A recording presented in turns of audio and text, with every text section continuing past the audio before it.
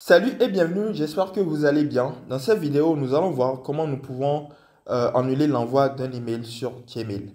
Alors pour ce faire, pour pouvoir donc annuler euh, un, euh, un, message sur Gmail, qu'est-ce que nous allons faire? Nous allons nous rendre sur notre application Gmail comme ceci.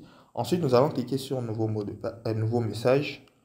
Voilà, nous allons donc entrer le destinataire de notre, de notre message. Voilà, nous allons donc entrer le destinataire. Ensuite, nous allons donc entrer un message, par exemple. Entrer notre message, nous allons donc envoyer le message comme ceci.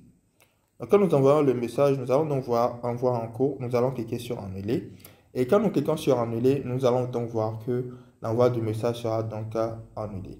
Maintenant, qu'est-ce que nous pouvons donc remarquer? Nous avons très peu de temps pour pouvoir donc annuler le message comme cela. Donc, euh, pour pouvoir donc euh, augmenter euh, le temps pour pouvoir annuler le message, nous allons retourner en arrière.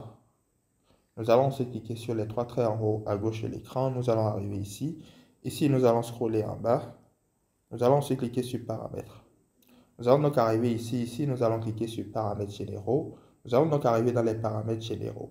Dans les paramètres généraux, nous allons scroller complètement en bas et nous allons donc voir euh, les, la confirmation, la rubrique confirmation des actions tout en bas.